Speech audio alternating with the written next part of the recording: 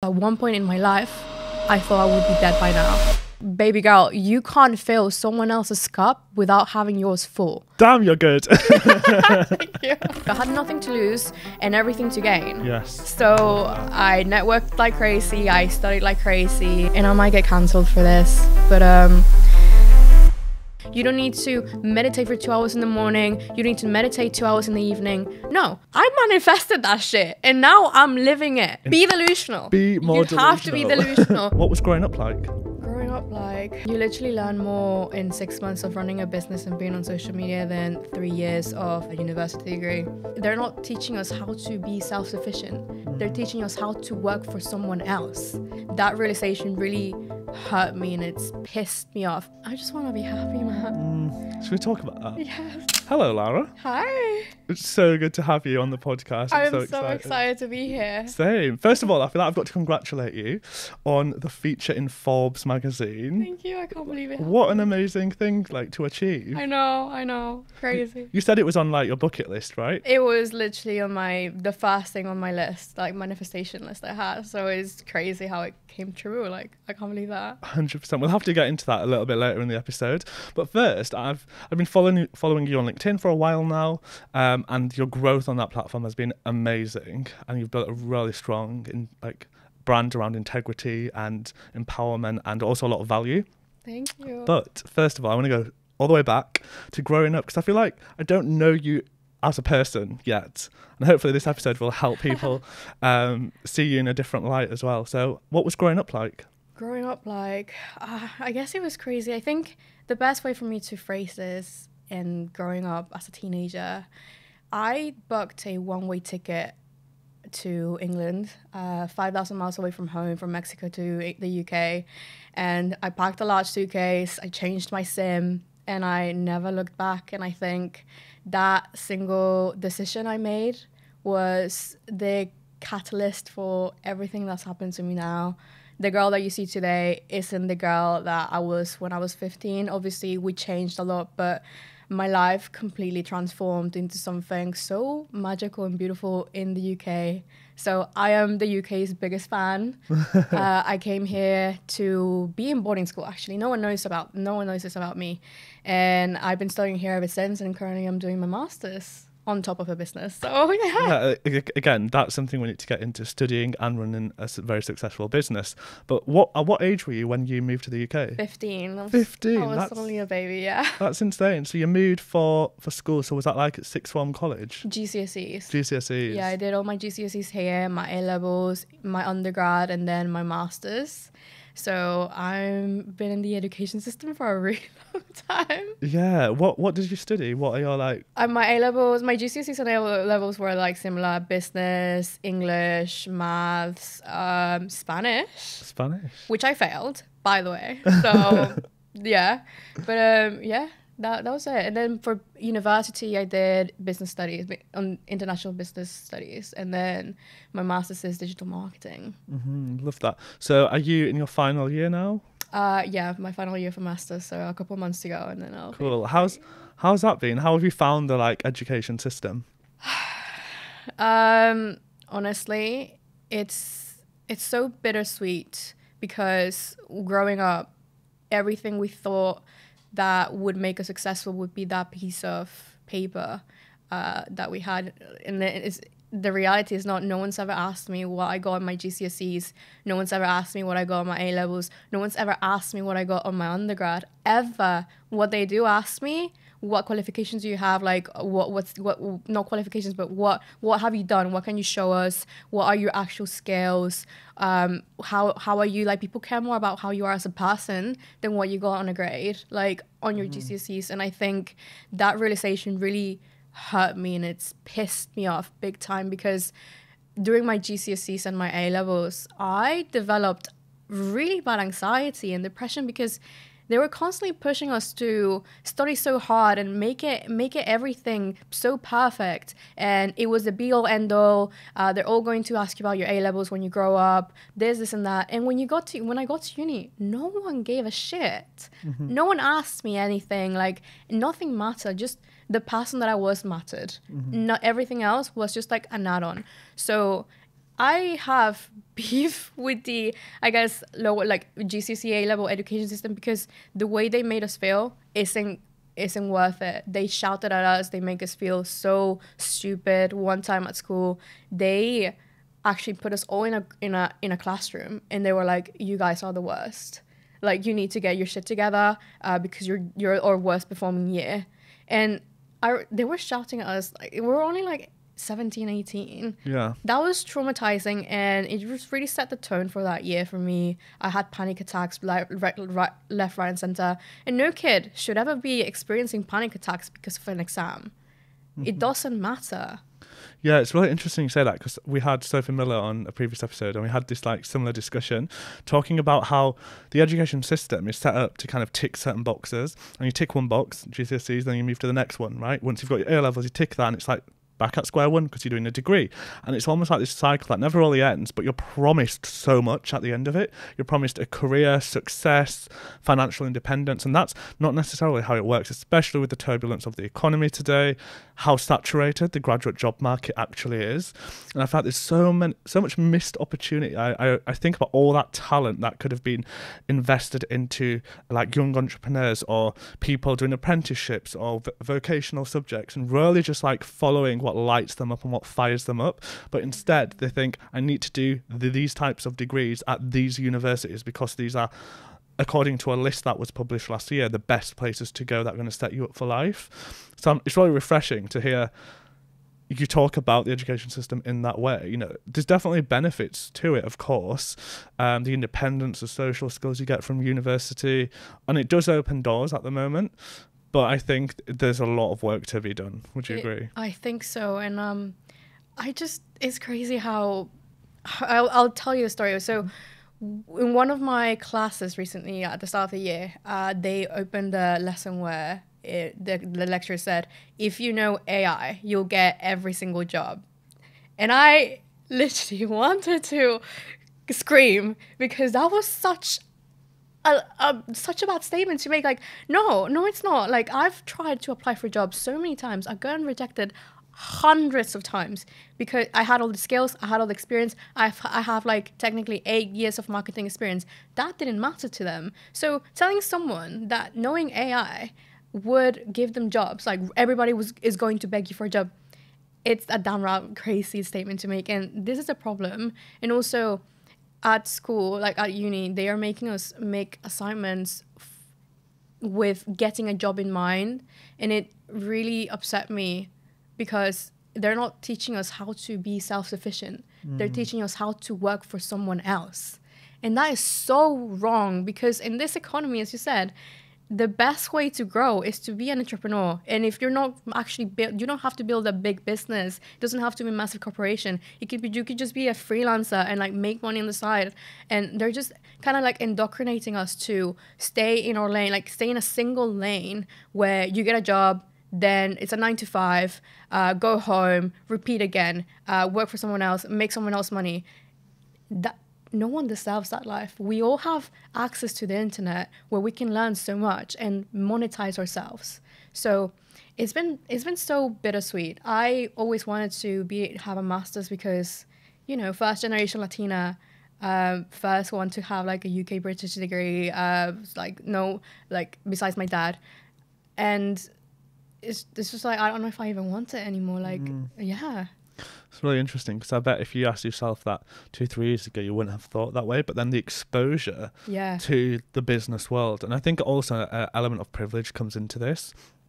And maybe both of us didn't have that when we were kind of starting out, but I see a lot of business owners today, and the way they just talk about their their growing up and their childhood and their um, like ambitions career wise is so different to to, to my own experience myself because i never thought of like entrepreneurship being a viable career path when i was like 16 17 like i had no business network. I didn't have anyone in the family who'd started their own business. And and today i see a lot of people who have that and you really my eyes have really been opened to that gap in privilege and access to opportunities but also to networks as well Yeah, I agree. And I think congratulations, Fastly, for doing all of this. I don't think you're giving yourself enough credit for that. I, I really admire everything that you've done and I see you grow. And I'm like, yes. King." thank you But uh, yeah, I agree. I think I also come from a really strong place from privilege, and uh, I I need to say that because I went to private school in the UK from Mexico, so I have that. But at the same time, I grew in a place where we don't have the same access to anything in Mexico. Like you, the, even the NHS to me is amazing. Like it's free. Like they take care of you, etc. And I just see that like this place is amazing. Everybody wants to live, but the UK for me is has given me so many opportunities and um, yeah. Mm-hmm. Love that. So, how did you then get from like your edu- your degree and then to, to, to where you are today? I want to like break that down into kind of chunks so people can begin to see like the growth and what you did at each step. So, where the how did how did it start? Yeah. So, how did you start? Did you, did you know what you wanted to do when you started your degree, like career wise? Actually, I promised myself I'd never be an entrepreneur. Really? yeah. So now I am. My both my parents are entrepreneurs. My Mm-hmm. my dad is, and I would always see him as a child working those. 18 hour days, uh, always on his phone. He had like three work phones, always working, a true workaholic. And my mom, so, so is my mom. So I promised myself, no, I'll never be this person. Fuck the shit. I want to have a normal job, nine to five, live in like cute house. I wanted to be an investment banker actually, and just like live that life. And I was like, perfect. And then I kept on getting rejected for every everywhere I, I applied to. Um, rejections here, rejections there, KPMG, JP Morgan, whatever. Couldn't get anywhere. So I was like, now what? Look at you now, though. Look at you now. um, so props to you. But so, so, so yeah, you struggle to get a lot of jobs. I think that's a story for a lot of young people. They will definitely relate to that. Um, I think I applied for like 60, 70 grad schemes Yeah. and immediately got rejected by like Crickets. 35 or 40. Immediately like as well. immediately. Not even like It's so an stressful. opportunity. It's just a based on a CV. And I'm like, God, there must be so many applicants as well for each job role. So statistically, your chances are so slim. So yeah, sorry. Continue the story. So yeah, for me, and I had that experience, and I had it worse because um, they prioritize UK applicants, then EU applicants, and then international applicants. So I was like at the bottom of the pile for everything. So I felt like I, I wasn't good enough, and that feeling is really hard to shake off. So um, I remember I had to go back to Mexico because of the pandemic. COVID had just hit, and I went back home for like a holiday just to see my parents. And it turned into this massive worldwide pandemic, and I was like, okay, I can't go back to you any anywhere. So I spent the next year and a half, two years at home, unemployed, with that without my friends, sad, almost depressed and nothing was working. I didn't want to get a, a job in the in Mexico because I always want I want to live here forever. So I was like, okay, I'm gonna apply for a master's and hopefully I'll go back and do then go back and scale and do the employment route again, apply to grad schemes, and then. I realized, okay, I need to go on LinkedIn and maybe ask for some references. Mm-hmm. And that single decision changed everything for me, and I didn't know. I didn't know. I was only looking for references. I had only I had deleted my LinkedIn account because I hated it. It was filled with my ex, uh, my friends that had just been getting promoted, my ex that just got like the best job ever. Uh, I'm so happy and grateful to announce that that Yeah, yeah. and I was like, I'm tired. It's making me feel like shit. No, no social media platform is going to humble you faster than LinkedIn when you don't have connections. So I was humbled. I was like, I'm out. And then I was like, I'm gonna start again. Hopefully, get some references for uni, and then go out. And then I was like, okay, I'm gonna try and make this look nice while I'm at it. So I watched a quick Gary Vee keynote speech for an hour, uh, learned as much as I could, and started posting. And then I found you. Okay. I found you, Sophie Miller, Izzy Pryor on LinkedIn. I was like, this gets not cool. Like they're posting some good, sh- some good stuff because there's uh, you start off on LinkedIn like seeing like all the bros, all the really boring stuff, Yeah. like all the news, and you're like, oh. And then I saw you, Sophie Miller, Izzy Pryor, talking about sh- stuff that I actually, I was like, oh, this is good. Oh, I love that. I And I it- didn't know I played played a role yeah, in you played a big role in like me starting out and your content. I was like, this is I could write this, you know. It's like it doesn't seem like I need to have like this incredible experience. Mm-hmm. I could just write about my life, and everything changed. I committed to posting on LinkedIn for every day for the last like three months.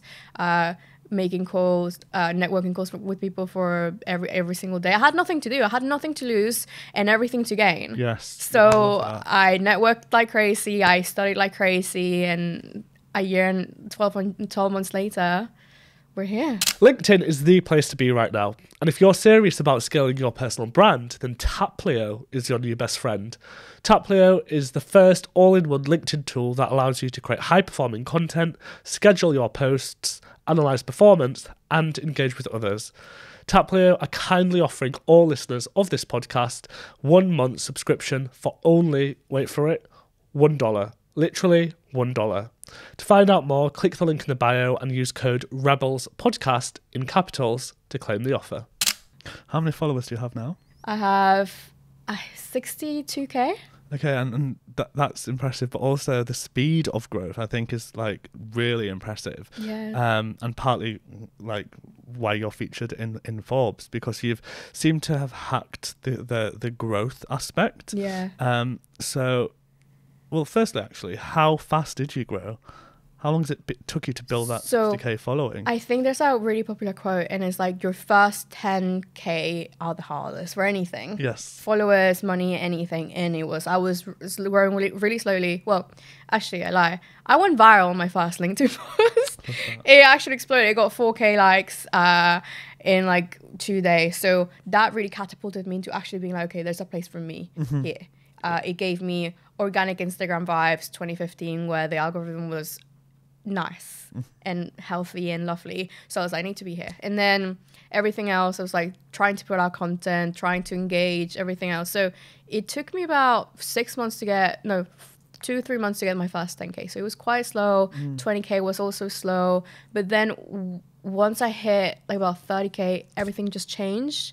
And it wasn't because of the number, it was just because I understood the LinkedIn game where it's like you put high quality content out, you engage, and you have a really solid network. So for the, those first six, three to six months, I was working on building my reputation, mm-hmm. working on understanding the basic rules of copywriting, and getting my name out there, like trying to chat to, as- to as many people as I could. And the way you do that is through engaging on people's comments. I was engaging on your comments. I was engaging on Sophie Miller's comments. I was trying to be as valuable as I could, even though I, I didn't know much. I just did my best, and that's the that's the thing that people miss. Is like you don't have to be an expert. You just have to be a someone that wants to be there. That's it. You don't need anything else. presence and visibility I say at the beginning are just so important. Yeah. More so than even like providing you know, expert level value because that takes time. That takes time to understand, like you said, the art of copy, um, the ability to um, build that, that like high quality network. First, you've got to kind of just put yourself out there, engage with people, like you said, be part of the community, be a voice that people see and know of. And once you've built that kind of brand presence, people start listening. Yes. And I think this is so much that go- goes in- into it. I think one thing that's really important is a quote. I don't know who said it, but I saw a post on it on LinkedIn, and it said, "It's not just what you say; it's also who says it that matters." And so you could have somebody who has built no kind of brand presence or authority say something amazing, crickets. Nobody, nobody listens to it. Nobody hears it. Nobody takes that advice. Nobody engages. You can have somebody who's been building a brand over time, engaging every day on the, on a social media platform, putting out great content, and then sharing that and suddenly you have the viral content, right? Yeah. So it's also really important of like the person behind the brand, which is why I always say the personal brand should be, you know, should showcase your personal as well as just the brand and the value that you're giving. Yeah, personal branding goes beyond just the content, and people don't understand that. Yeah. People it's like LinkedIn, okay, just content, but it's not. I think there's like pillars to it. It's like you have to have outstanding content, you have to have a really valuable network, you have to have um, a very engaged audience, and then you have to have social proof. Those three, th- like four things, change the game for you, and you have to collect them over time, and it takes time. Hundred percent. I remember last year, like we, the first time we met, I think was at an was it Sophie Miller's event. Yes. Um, so again, that's another great example of building a personal brand, but outside of a social media platform, like actually meeting people in person, going to these like networking events and conferences or wh- whatever your vibe is. For me personally, I don't like formal networking events, and I've never been to one, at least in the last two years. But I love kind of more social gatherings where Mhm. you have people in more relaxed environments, just like networking, making friends. You know, people aren't going in expecting something or trying to sell something.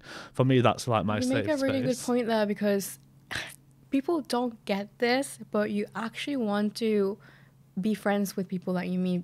Yeah. Where people go wrong is that they come into social media wanting to build this magnetic personal brand, but they forget that you need to actually come from a place of abundance Mm. and love and actually wanted to help people uh, not from a place of i want these leads i want this money i want your money Yeah. um, i want to talk to you just because it's self-serving for me Mm. there's so many people who go wrong with that and i can smell that shit really quick with people and probably everyone can so the number one personal branding advice i think is just be selfless give out as much as you want, uh, as much as it feels right for you, expecting nothing in return, and it will come back to you.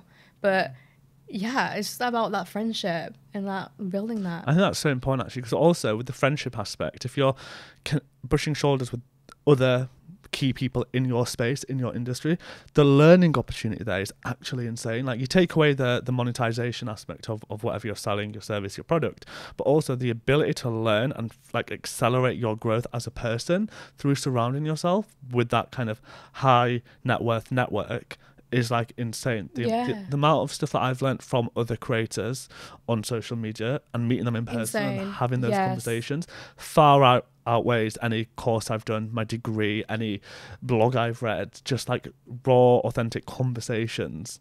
Nothing beats that, in my opinion. You literally learn more in six months of running a business and being on social media than three years of uh, university degree. I stand by that. Hundred, a hundred percent. Mhm. Like, totally, totally agree. Um, we'll get back. We'll come back to some more kind of actionable tips for people because I know a lot of people will watch this episode for that. But I want to go just talk a little bit about more about your journey because you're really into fitness as well, right? Oh my god, yes. So let's talk about it. You know what? I don't talk about this enough, but uh, I am a full time powerlifter. I'm a full time business owner. I'm a full time 20 year old. And I'm also a full time Student. student, full time master student. Uh, and I don't think people realize that.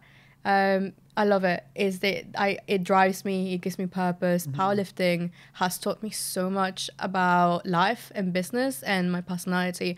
Before it, I was incredibly shy. I didn't know my standing. I didn't know what to do. And then the discipline that comes with practicing practicing a sport every single day, eating healthy, waking up, doing things for yourself. Um, it just amplifies everything you do in life, uh, especially now in business. Everything, every big lesson that I have for business, I learned at the gym. Um, I think every single person should take on a sport and be committed to it because it clears your mind, it makes you healthy outside, and also makes you healthy inside. Yeah, I love that. It's also great for like habit building. it is. Um, and so so how how and why powerlifting? yeah, it's crazy actually. So I had this boyfriend at uni. Uh, we'd been going well for, since like A levels, and he started getting into powerlifting, and I was like, "What- "What the hell is powerlifting?" And out of uh, all in all every single conversation that we had for like that month, it was about squats, bench, deadlift. He was deadlifting in like the middle of the kitchen, like. I was like, what is this? So I was like, I'm either gonna dump this guy or I'm going to have to join him. And I ended up joining him, and it completely changed my life. That sport is so beautiful. Coming as a woman as well, uh, we're taught to shrink ourselves. We're taught to be quiet. We're taught to that we shouldn't be strong. Uh, women shouldn't be bulky. All of that. And um, I had a, I was struggling with an eating disorder as well, on and off.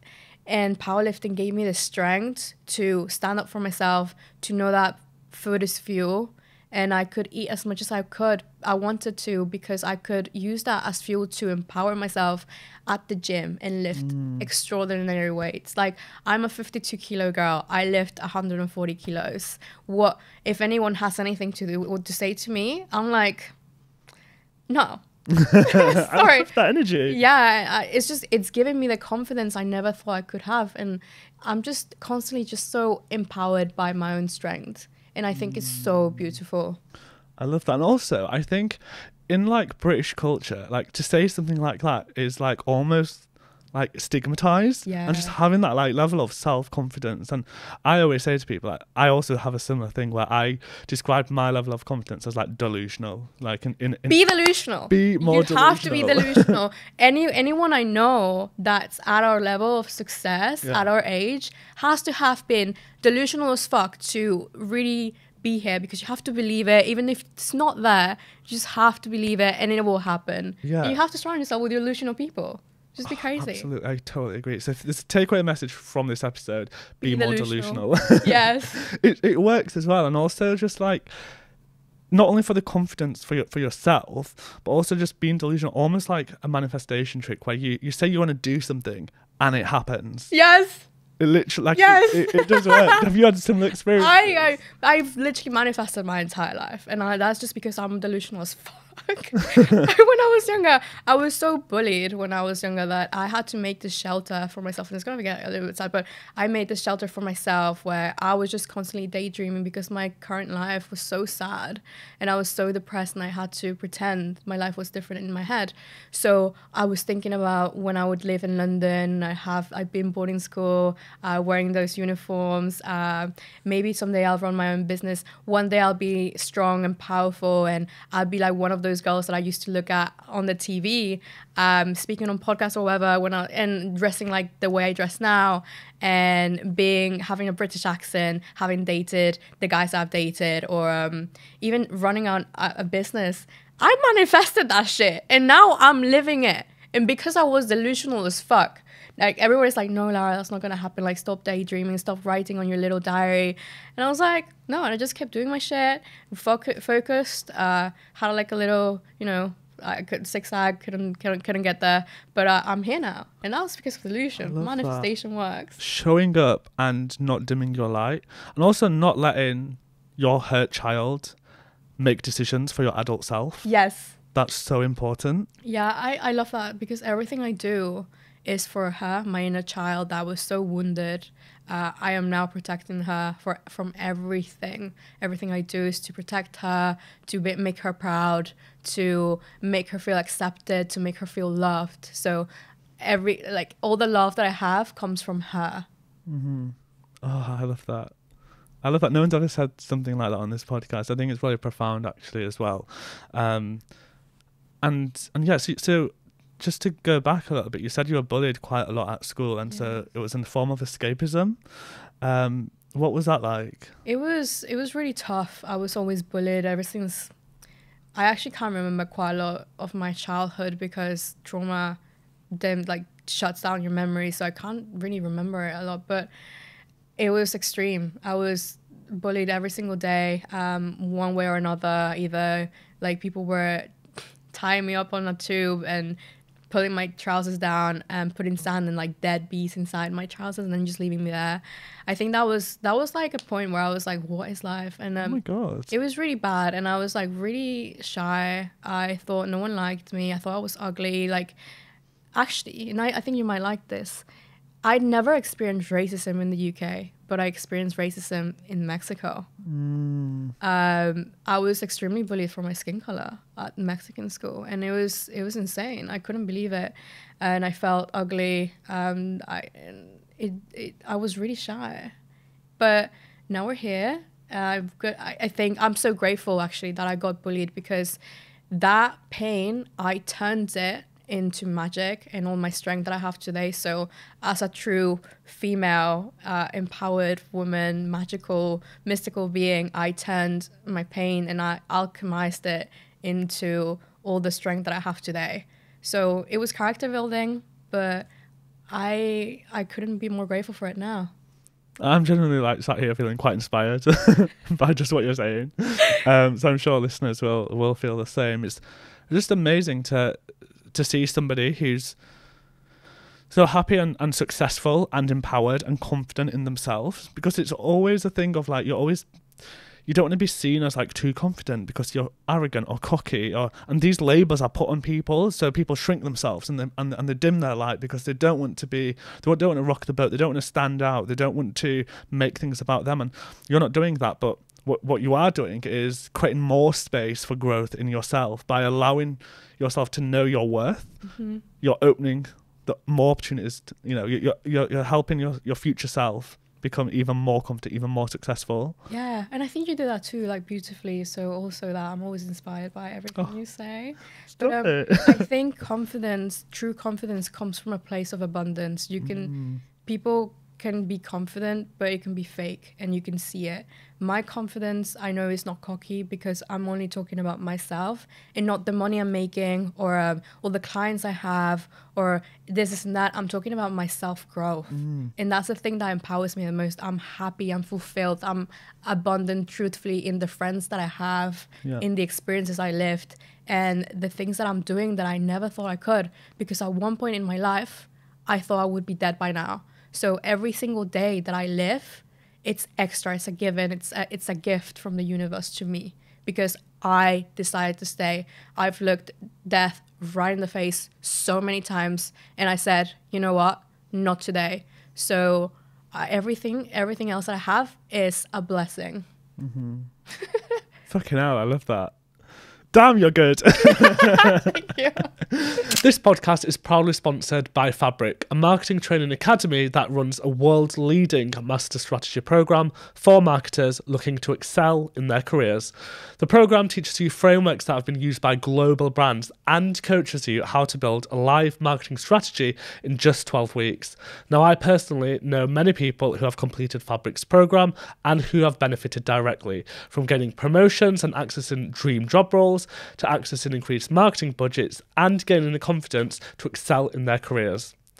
Fabric is kindly offering listeners of this podcast 10% off their program so you can secure your place on it. For more information, check out the link in the bio. Use code REBELS10 in all capitals to claim the offer. um, let's go into because a a lot of people know you on LinkedIn for like the growth of your account and, and what you do. So tell people who might not know what do you actually do day to day. What is your business? I, I don't know. no. So my business is a LinkedIn personal branding agency. Uh, we work with founders, CEOs, uh, even entrepreneurs and creators to build a personal brand on LinkedIn purely. I don't do Instagram, TikTok, or Facebook or anything else, just because I feel like LinkedIn is where it's at right now. The organic power of it is beautiful. Um, I also chose it because you get judged on the right things, and that's your intellect, not your looks. I was a well, I'll get into this later, but basically that is basically what we do. We do copywriting for them, we do the strategy for them, we create this I get the brand that I, they want to be known for, mm-hmm. and then craft it online, post copy re- relating to that and their experiences, give them personality online because, as you know, it's very different to just post things and then post stuff with intent. Like, what is mm-hmm. this today? Is it inspiring? Is it entertaining someone? Is it educating them? Is it all three? So, yeah, that's what we do. Mm-hmm. Killing it. And um, also, aside from that, you're also like a, a content creator in your own right as well. Yes. And not not just on LinkedIn as well. You're creating content on Twitter, TikTok, Instagram, right? Yeah, I actually got my start off as anything on Instagram. I started off as an Instagram influencer. I have 40k followers on TikTok, uh, 30k on Instagram. But I ghosted Instagram and TikTok because those platforms are so vain and they broke me into pieces. So then I found LinkedIn and I was like, I'm at least in this platform, I'm getting judged for my intellect and my expertise, mm. not on my looks. Mm-hmm. For somebody who is kind of fairly new or t- to the platform um, and wants to grow presence and build brand for whatever reason that might be to um, try and attract um, like a promotion or, or be headhunted by the, the top company or whether it's to start a business, convert their side hustle into a full-time thing, whatever the objective is, what advice practically would you give to somebody who wants to build on LinkedIn? So I say how to get on the top 1% of LinkedIn. Find a topic that you want to talk about, find sub topics that suit it. Um, create every single day, engage every single day, network every single day, and repeat. Yeah. That's it. It's so simple, but everybody overcomplicates it. Complicates it. Stop overcomplicating LinkedIn and stop overcomplicating your success.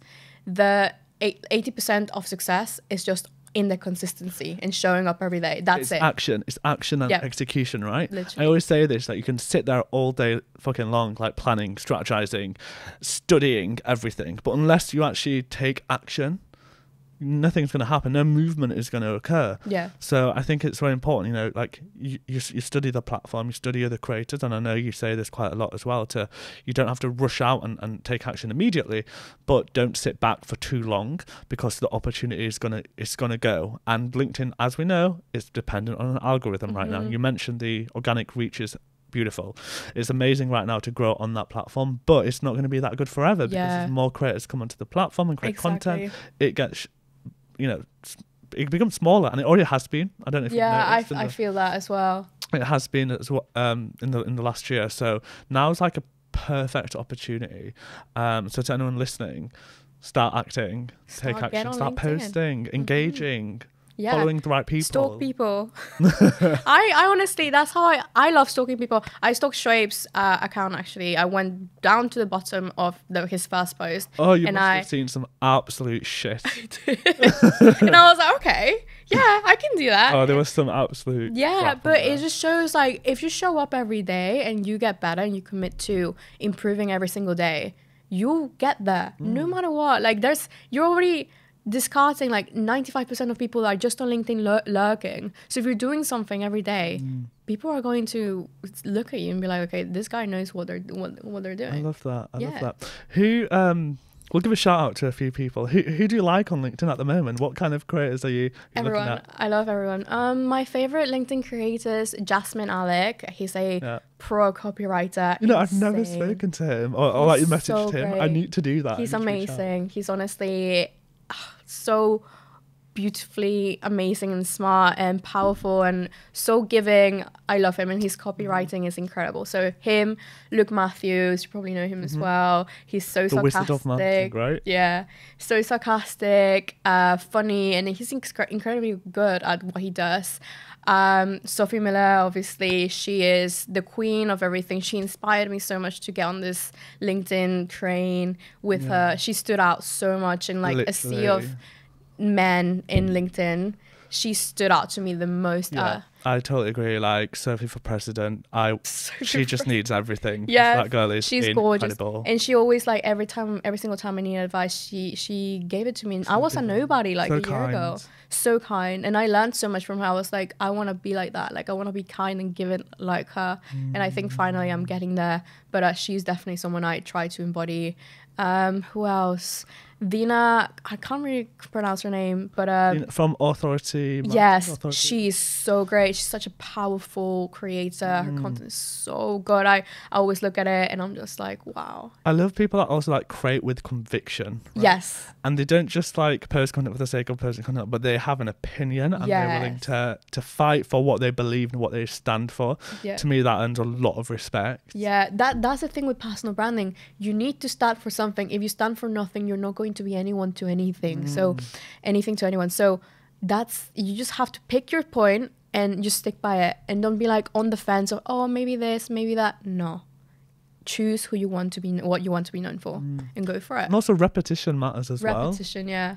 Like sharing that message consistently to be known for something, right? Mm. Because if you post content and it's all scattered and there's no kind of tactical approach to what you're doing, you post so much content that you you saturate people's news feeds, but they don't know you for anything in particular. Yes. Whereas for you, like I know you for growth, LinkedIn growth, right? And being like a strong, Oh, yeah. badass entrepreneur. So that's the vibe you give me. And I'd hope that I'm kind of also known for like personal branding and, and diversity and inclusion Yeah, and youth entrepreneurship and those kinds of things. But it's really important to, to because a lot of people say just post, just post. I, I, th- I think it's, it's important to take action, Yes. but without the without doing the other bits, it doesn't work. You've got to know why you're posting and have that purpose and intention. I hate that advice when people's like, just post. No. Like, if you're just posting to post, okay, that's fine. It, it kind of works because I get it. It's so simple. Like, just Yeah. post. Just do it. But um, if you're posting just to post without a strategy, without knowing what you want to be known for, without having those subcategories sorted out, like what do you want to be known for? Entrepreneur, powerlifter, athlete, um, what else? Like you have to choose that first before you just start Mm-hmm. posting. Otherwise, it's going to be directionless. You're going to waste your time and you're going to waste your energy. Yeah. So we've talked about creators that we, we love. Let's talk about creators that we hate. I'm joking. I'm joking. I'm joking. I'm joking. We'll put that in the trailer, and everyone will be like, "Oh my god, they're gonna like bitch about creators." Absolutely not. Um, but I was ready. we can we can have that discussion after. but um, what kind of things do piss you off about the platform and and uh, LinkedIn? But also not just that, also like youth entrepreneurship. Any kind of things that you have opinions on that are maybe unpopular or go against the mainstream. Okay, give me one of yours and I'll think why. Okay, so for me personally, I think I mean just just a strong opinion that I have and I'm really believe in is that um, young people are, are being failed in, in, in many ways in, in kind of like the education systems. I know we touched on this before, but I think there's so much um, taboo around apprenticeships and work experience and vocational subjects. And also, I think it's fine to take a step back and not run at 100 miles per hour all the time.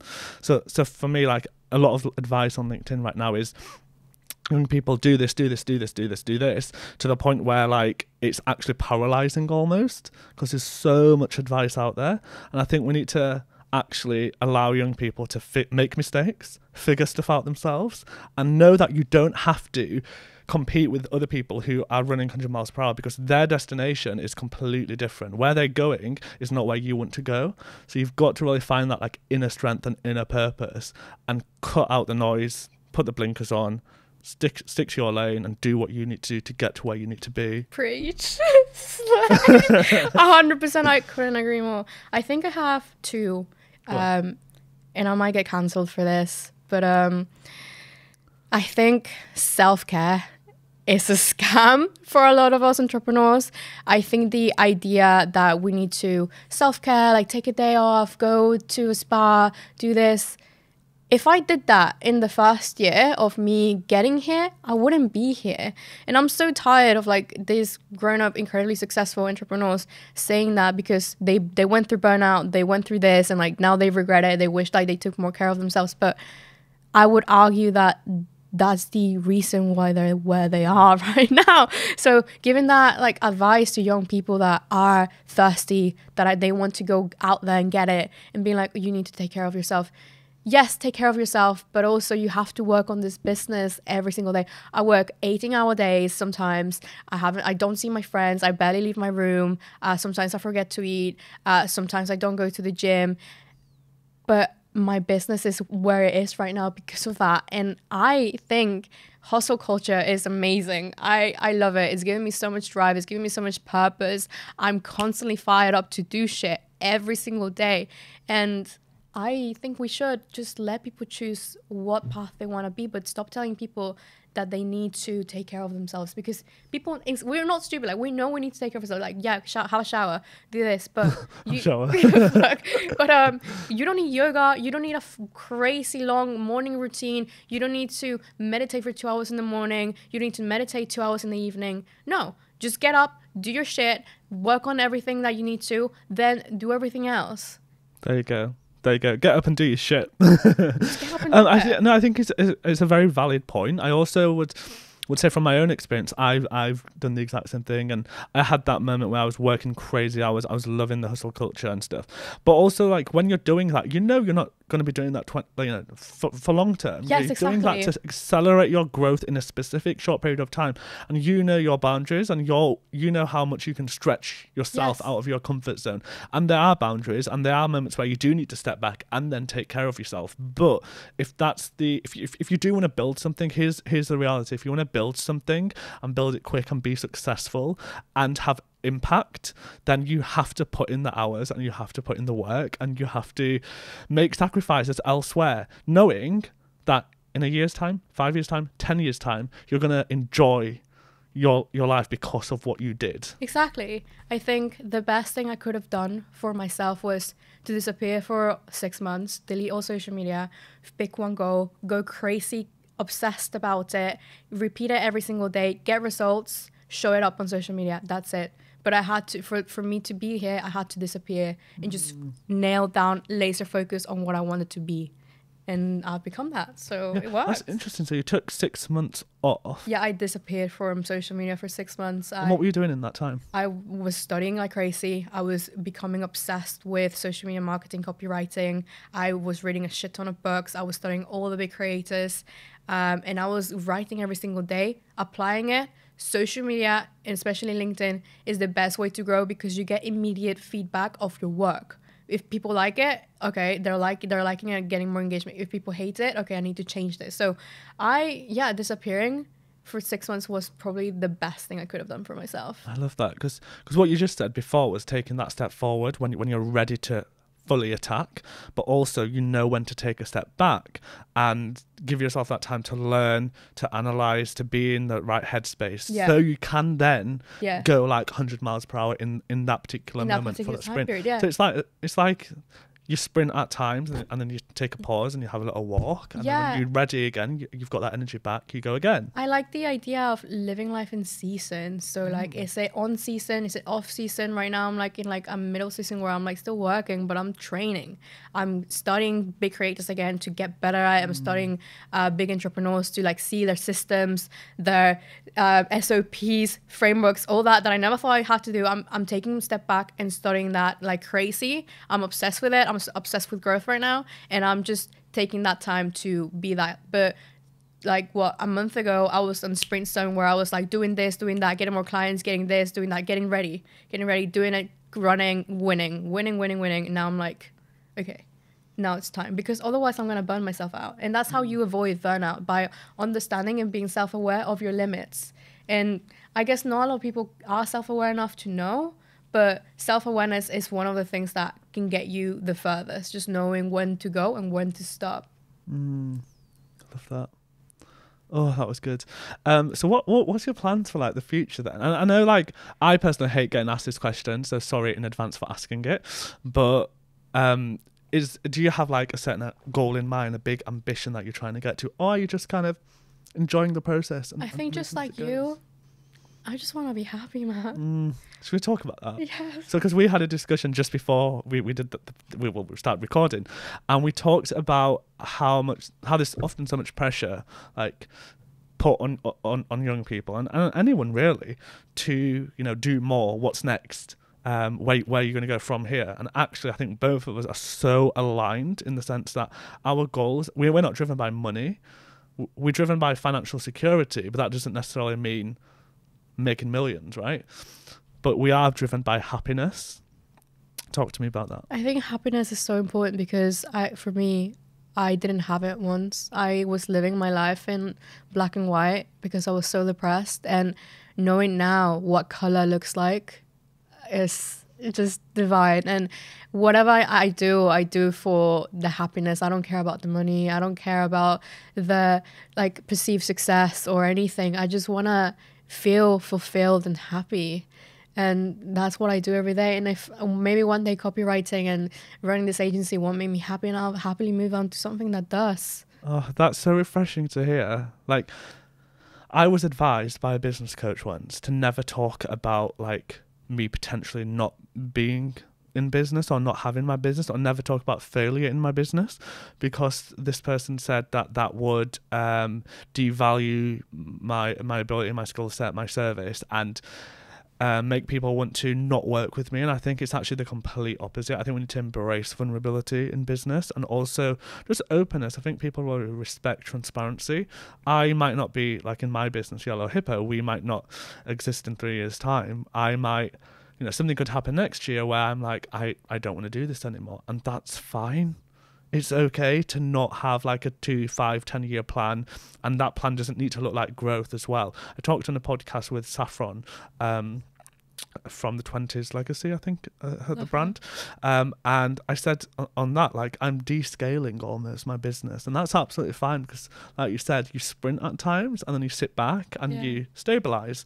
And i'm in that Mhm. stage where i'm really happy with with where i am and i'm able to make that decision where i don't want more money. I'm actually willing to lose some money to regain time and freedom and Mhm. genuine self fulfillment and happiness. And I think it's really important. Not enough people speak about it. So I'm glad you are. I think it's just like we live in such a crazy society where the I don't know people before us used to think that business and the nine to five and the rat race were the be on be all end all, but us we're so smart now. We have access to all the technology in the world, and we are able to choose the path that suits us best as humans. Because we're humans first. We're not employees. We're not business owners. We are a person, a beautiful human being that has diverse needs for everything else. Mm. And now we're taking the power back and being like, look, I actually I think I'm going to put myself first. And that's such a shock for so many people. Oh, Yeah. how dare you actually prioritize your own well being? Because it's my life and I want to live here for as long as I can. I want to be healthy. And if it's not providing me health, I don't want it. And I that's fine. that. And yeah, I remember you just reminded me when somebody said to me like, um, "So what are you doing to grow the business?" And I was like, "Nothing, every day. nothing." I don't know. What are you doing? yeah, like I don't know. Yeah, literally, what are you doing? I'm I'm not planning to to grow and grow and grow and grow. I'm just like enjoying myself, Just chilling. right? And I think we have this fixation on like Growth. constant growth, and of course, at times you want to do that, but there's times where you want to pull back. everybody we were talking about this earlier like everybody gives us unsolicited opinions about what should we should be doing with our business with our social media presence like do this and that and at one point i got so overwhelmed i was like i should be really monetizing this i could be at a, million at the end of the year because of this. And it's like do i even like why would i want that? Like it, it that life is not mm. for everyone. Like this scaling agency life where you're hiring so quickly you're growing so quickly is i don't think it suits me. Like i'm just like i want peace. And people need to mm. understand that not everybody has the same goals in business. Yeah, I completely agree with that. Completely agree. Where can people find you if they want to follow you? Uh, you can find me on linkedin Lara Acosta or instagram Lara Acosta or anywhere else Lara Acosta there you find me Wicked. And also, just before we wrap up, we I usually ask, you know, what's a unpopular opinion opinion that might get you cancelled one day, but I feel like you kind of answered that a little bit. i can give you another one Okay, go for it. Um. Okay. So, I feel like a lot of girls in the industry always seem to box themselves up because they're like, "Oh, I'm not as good as men. Uh, these like the men have an unfair advantage and stuff."